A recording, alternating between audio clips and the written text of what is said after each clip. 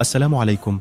مشكلتي أن هناك شيئا يضايقني وهو المذاكرة والدرجات منذ صغري وأنا أدرس وأدرس ولكن لا أحصل على الدرجة المطلوبة وكان أبي يوبخني على سوء الدرجات إلى أن أصبح عندي قلق وتوتر كبير بشأن الامتحانات.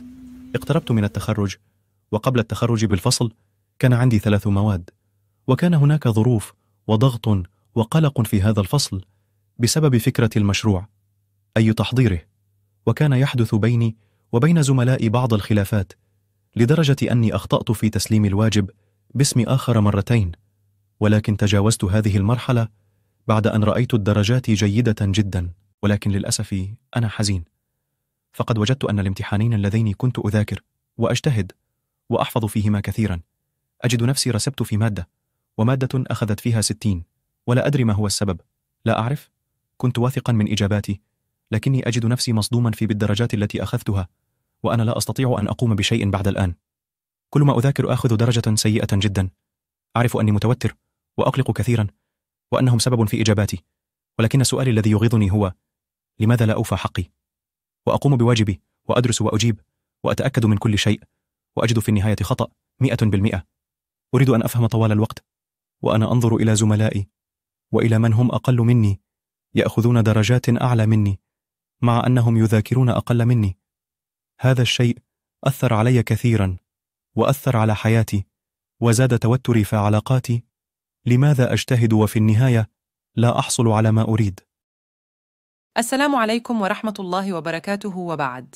فبالطبع إذا بذل الإنسان مجهوداً فإنه يكون منتظراً أن يكون هنالك مردود إيجابي أنت تذاكر وتجتهد ولكن النتائج التي تتحصل عليها لا تناسب جهدك أنا أقدر هذا الذي ذكرته تماماً لكن أقول لك أن الوسيلة الوحيدة لأن يواجه الإنسان الامتحانات بدرجة عالية من الاستعداد والتمكن هي من خلال المذاكرة والاجتهاد. المذاكرة المتأنية المرتبة المنظمة يكون عائدها إن شاء الله تعالى ممتازا. الذي ألاحظه هو أن القلق والتوتر يسيطر عليك. أصبح لديك هذا القلق حول المذاكرة ذاتها والاجتهاد ذاته، وأصبحت مشغولا بهذا الأمر جدا. هذا أعتقد أنه أثر عليك سلبا أيضا.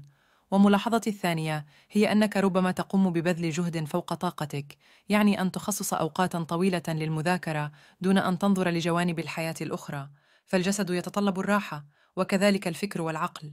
الإنسان لا بد أن يرفه عن نفسه، لا بد أن ينفس عمن بداخله، فربما يكون منهجك وترتيبك لوقتك فيه خلل.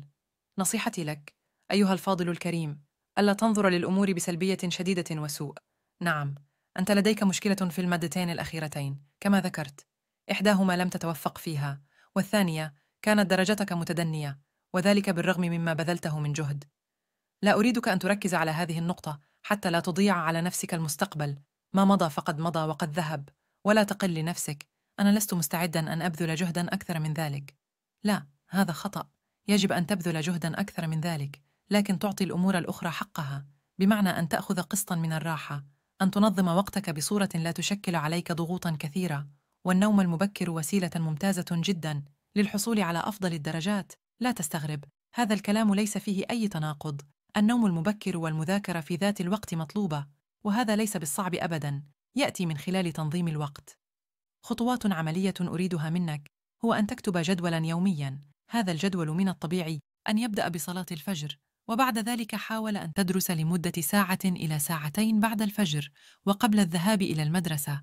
الذين يواجهون صعوبات في الحصول على الدرجات في الامتحانات ننصحهم دائما بهذه الوسيلة لأنها وسيلة جيدة، حيث إن خلايا الدماغ تكون في حالة استرخاء، والشيء الذي يقرأه الإنسان ويطلع عليه ويذاكره سوف يستذكره، لأن عملية تسجيل المعلومات في الدماغ تكون أفضل، والإنسان حين ينجز شيئا من الصباح الباكر يكون منشرح الصدر يستقبل بقية اليوم بقبول وانشراح كبير.